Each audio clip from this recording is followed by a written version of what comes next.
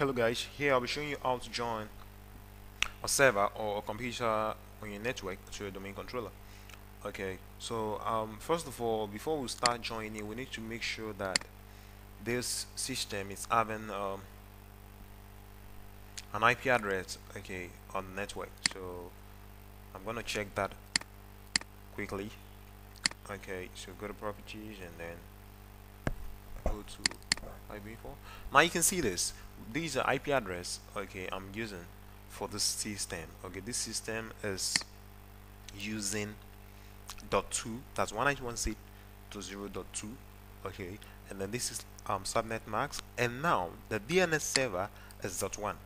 So you have to insert the domain controller okay which can also be the DNS server its IP address here alright and you go for OK okay after doing that you can ping 192 the 168 the 0 the 1 alright now you can see we're getting a reply okay from the server.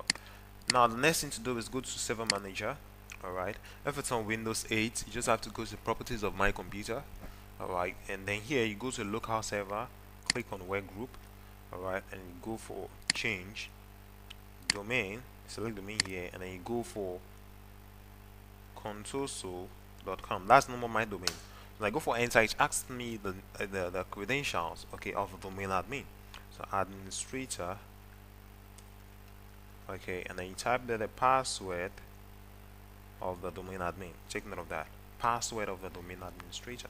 Alright now you can see here welcome to contoso.com so now my PC is part of that domain.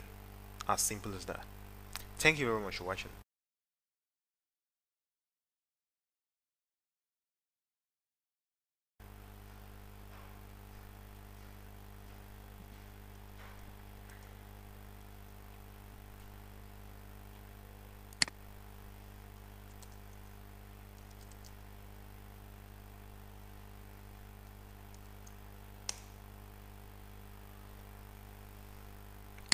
if you're using um, VMware if you're using VMware just like I'm doing okay you need to go to VM settings okay and then here where we have network adapter you need to make sure it's set to host only before you can get the reply from the server you're pinging when you're using the VMware only when you're using the VMware